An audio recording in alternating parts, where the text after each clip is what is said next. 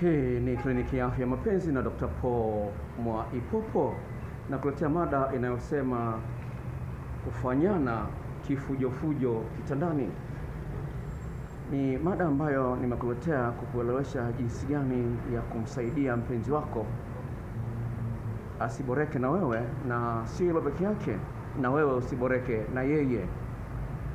Katika mahusiano ya muda mrefu, watu ambao wanafanya mapenzi kwa muda usiopungua mara tatu kwa wiki, kurudia mambo ya aina ile ile au yanayofanana, kuna kuwepo na uwezekano mkubwa wa mtu kuboreka na wewe. Sasa lazima ziwepo njia za kutengeneza msisimko mkubwa ambao mara kwa mara utakuwa unautamani, kama vile mlevi anavyotamani kunywa pombe au madawa ya kulevya. Ni kwamba kuna raha fulani ya kiwango cha juu anayoipata kama akinywa pombe, na asipokunywa pombe anajisikia vibaya. Muulize mlevi yoyote yule au walevi wa mpira wanapenda kuangalia mpira. Asipoangalia mpira anajisikia vibaya, kuangalia timu yake inacheza anajisikia vibaya, amekuwa kuwa mlevi wa mpira. Kadhalika, upo uwezekano kufanya mpenzi wako awe mlevi wa kufanya mapenzi na wewe.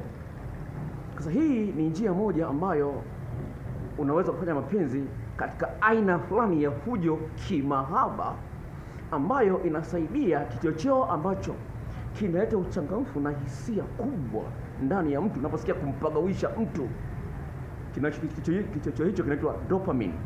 Kichocheo hicho ndio ambacho kinasababisha mtu awe mlevi.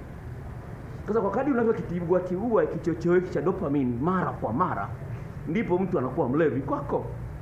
Sasa unaweza ukashangaa meseji hii ya dada ambaye mpenzi ambaye alikuwa amemwacha amemrudia baada ya kufanya naye mapenzi. Unaweza kuona ni jinsi gani baada ya kufahamu njia ile ya kufanya mapenzi inaitwa teabagging, ya kuchezea korodani kwa fujofujo ina, ina, imeweza kumsaidia mpenzi wake wa zamani arudi na kusomea message WhatsApp yangu inafunguka. Ni jambo la msingi ufahamu kwamba utamu una nguvu kubwa mno. Utamu huo ni wa pombe, huo ni wa chakula, huo ni tendo la ndoa, una nguvu mno, una nguvu kubwa mno ya kumbadilisha mtu. Sasa usitegemee mpenzi wako anabadilikaje, lakini unaweza ukaanzisha mabadiliko kuleta kitu kitamu ambacho akilinganisha na utamu alichokutana nao, anaona kwamba kule alikokuwa ameenda amepotea njia. WhatsApp yangu imefunguka na yule dada namuona yuko hapa. Sikiliza yule dada anavyozungumza, sawa? Anasema hivi, ameanza na meseji yake kwanza, habari dokta, yaani nina shuhuda nyingi kupita masomo yako, sina cha kulipa zaidi ya kusema asante, na nikipata hela nitatuma nipate video mpya ulizozitoa na majarida. Nikamuuliza hivi, nikamwambia hivi, nipe shuhuda nikupe zawadi. Akafunguka aka, aka akasema hivi, kwanza somo lako la teabagging, yani kuchezea korodani, sawa, kwa mdomo na mambo mengine ambayo of course nimeweka jinsi gani kumsaidia mwanaume achelewe kupisi. Sawa, kuna njia ya kuchezea kuchezea korodani kwa mkono ambazo mwanaume anaweza akacheleweshwa kupisi anapokuwa amekuingilia. Sikiliza, nasema kwa somo lako lile la teabagging, acha tu, yaani nisipofanya hivyo mpenzi wangu hana raha na atanuna. Dokta, ujue then pindi naanza mahusiano naye nilimkuta ana dada mwingine. Sasa nikawa ni mtu wa mawazo, nifanyeje ili awe kwangu muda wote? Ndiyo, katika kupekua YouTube njia za kumteka mpenzi nikakutana na akaunti yako au chaneli yako Dr. Mahaba.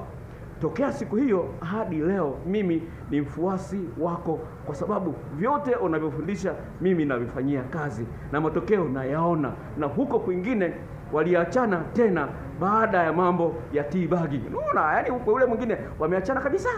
Baada ya kufahamu jinsi ya kuchezea korodani za mwanaume. Anasema hivi, na somo lile la juzi, jinsi ya kumkatikia mwanaume kitandani anapokuwa amekulalia, kumkatikia kiuno, dokta, ilikuwa tamu mno nilipomfanyia yale mambo uliyofundisha.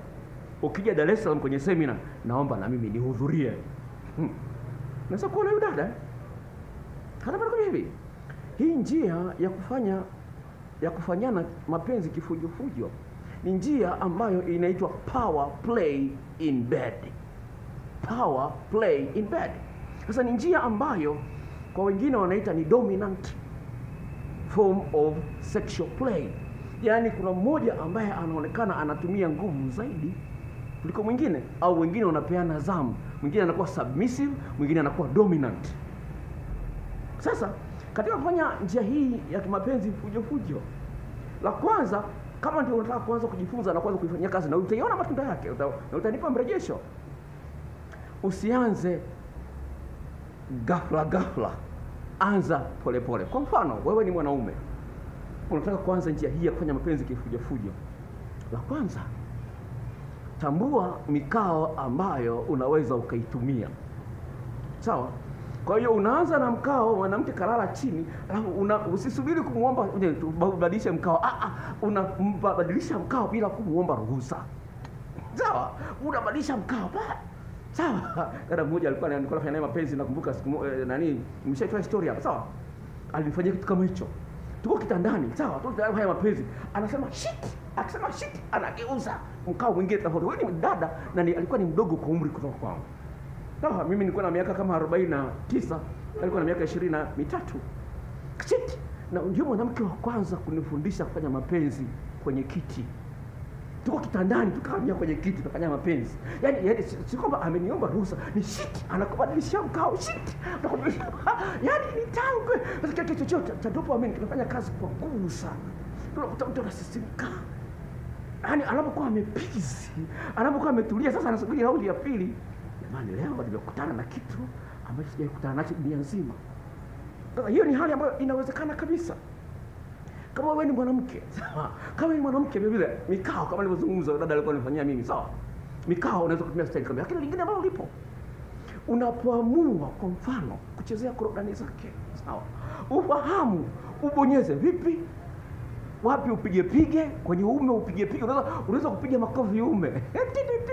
Umesimama unapiga pia makofi, lakini lengo ni kuleta burudani tofauti umeshaupiga makofi uume wa mwanaume. Hiyo ni hali lingine. Unaweza kufinya makalio, unafinya kimahaba. Ushafanyia mtu massage. Kwa wataalamu wanaojua massage, kuna soft massage na hard massage. Yaani kuna ile mtu anafanyia massage kilaini laini, lakini kuna ile ngumu anaku- anaku- ana- anaku- anaku- anakusugua kwa hiki kiwigo na ina utamu wake. Sawa. Sasa kama kama hujafanyia masaji una hiyo ukanielewa, lakini unasugulia kwa hiki, kuna utamu. Sasa akikusukua kwenye maeneo haya, kuna utamu ambao unausikia ambao sio kawaida. Unaweza kuona anakusugua kwa hiki au hizi knuckles, badala ya kutumia mikono, au anaweza kuwa anakumia na hivi. Sawa, sawa, anakumia hivi. Unaweza kuona minya eh, hivi, unaweza kuona kwenye mapaja ya mwanamke kwa mfano, au mapaja ya mwanaume. Sawa umeshambusubusu umebusubusu, alafu unaamua sasa, badala ya kupapasa ile ya kawaida ya juu juu, unaamua kutumia nguvu kidogo. Nakwambia inaleta kitu tofauti. Sikiliza, mwanamke mmoja alitoa story moja ambayo nikipenda sipenda ni sipenda kuiacha. Anasema hivi, I'm surprised I haven't seen, anasema I'm surprised I haven't seen anyone mentioning actively grinding or thrusting when in a missionary position. It feels kind weird, but at first, but adding different angles to missionary position is like entering a whole new world. Plus, it's so much more intimate when you move toward each other. Anasema hivi, nashangaa sana sasa pale ambapo mwanamke anakuwa yuko chini, mwanaume yuko juu, sawa? Hakuna ile hali ya kusagana sagana kusuguana suguana. Kwa hiyo unaweza kuwa uko chini, lakini kwa makusudi kabisa unajisugua kwa mwenzi, kwa makusudi mazima unajisugua. Kuna video moja nime- nimetengeneza leo ya ya naongezea kwenye ile nimeongezea kwenye ile jinsi ya kuweka miguu wakati unafanya mapenzi. Mwanamke, nazungumzia mwanamke. Ni video nimetengeneza leo jinsi ya kuweka miguu. Kwa hiyo kuna nyingine nimeagizia clip nyingine, nimekuwa na clip nyingi kama za kuangalia kama nusu saa. Kuna clip nyingine ambayo nimeagizia leo ambayo ni tamu sana. Hii katika clip hii unamwona mwanamke anavyoweka miguu yake kwa staili nne tofauti. Sawa, staili moja kati ya hizo nne, mbili yani ni kali sana. Sawa, unaweza kuona anamwakia miguu, anambana mwanaume katika eneo tofauti la mgongo wake. Halafu hii mikono yake imeshika hapa, amembana hivi. Unaona, amebana hivi, ana kwamba bwana, hapa usiondoke hapa hapa, amebana mwanaume, amemshikilia hivi. Amebana mwanaume yuko hivi. Sasa hiyo ni jambo. Na hapo hapo nataka kusema hivyo wakati unatumia nguvu unafanya mapenzi kwa fujo hivyo lazima ya- yawepo maneno ambayo of course yana- yanasaidia kuongezea hisia hamasa. Sawa sawa. Sawa. Eh, weka mkono wako hapa. Bonyeza hapa. Mwingine aka- aka- akasema hivi. Weka mdomo wako hapa. We ninyonye ninyonye. Ninyonye haraka ninyonye. Unaongea kama vile mnapigana lakini sio ugomvi. Ninyonye bwana ninyonye bwana. Unachelewa. Una- ni- ninyonye. Vitu kama hivyo. Ninyonye. Lakini inakuwa ni gemu ina utamu wake. Mwingine unaambia ongeza spidi ongeza spidi baby karibia kupiza ongeza. Na kelele zinakuwepo ndio fuje zenyewe. Kuja bila kelele hazipo ushaona mwiza anapopigwa. Huyo piga huyo huyo pisa, hiyo ni fujo kwa hiyo pale unapona kama umekaribia kupizi bibi, ongeza spidi. Piga na kelele. Unafanya ma- ma- ma- mapenzi kama mna- nani mnakunya. Ama ipendezi lingine ambalo pasa ujue katika mapenzi ya fujo sana unamwambia hamna leo hamna kupizi kabla yangu. Huh? unamwambia leo hamna kupizi kabla yangu. Hamna. Wapo mnaongea huku ngoma inaenda. Leo hamna kupizi kabla yangu subiri subiri. Ah, ah. na ukipizi kabla yangu unaipa elfu hamsini leo. Una kama vile mna kama vile mnashindana ukipizi kabla yangu leo unanipa elfu hamsini nakwambia. Au sivyo nakunyima mwezi mzima. Vitu kama hivyo napata nafasi ya kucheka unafanya mapenzi nyingine ambayo ni tamu sana, unamchezesha una, una, unamchezesha katika hizo unamcheza gwaride unamchezesha gwaride alafu baadaye sasa mnatulia kidogo unaacha. Yaani kwamba sababu yeye ameshapanda mlimani amekaribia kileleni alafu unamwacha. Anapoa kidogo unambusubusu kidogo namlamba bibi baby. Na show nzuri unasemaje show? Eh, pozi tu hilo. Hiyo ni fujo na zenyewe. Amekaribia kilele alafu unamrudisha nyuma. Yaani kama vile unamvuta. Mtu anataka kutoka mlangoni alafu unamvuta.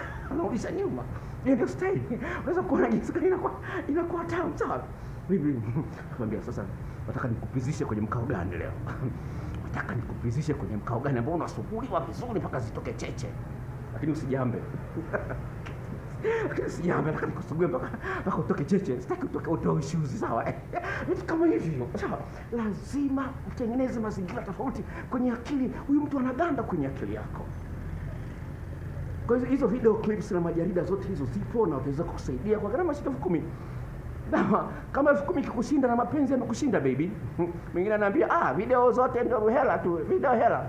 Ikikushinda elfu kumi na mapenzi yamekushinda baby.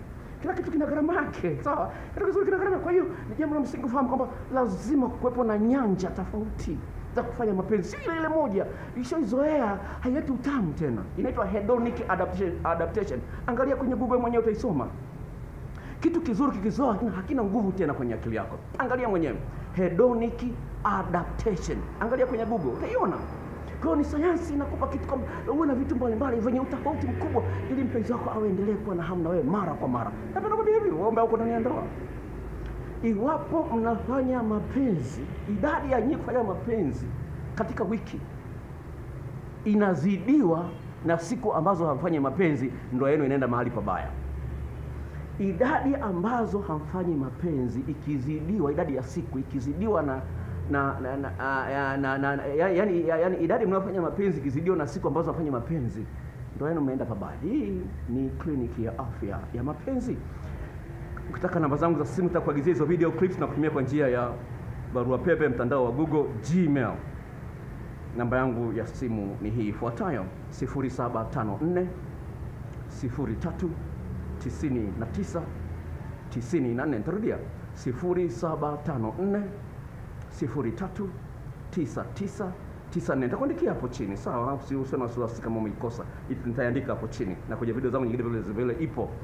Na kwa wale ambao wanaangalia video hii kwa mara ya kwanza, kuna kibox chekundu pale kimeandikwa kwa maandishi meupe subscribe. Bofya pale utapata maelekezo ili nitakapokuwa naweka video mpya upate taarifa mapema sana na uweze kuiangalia uwe wa kwanza.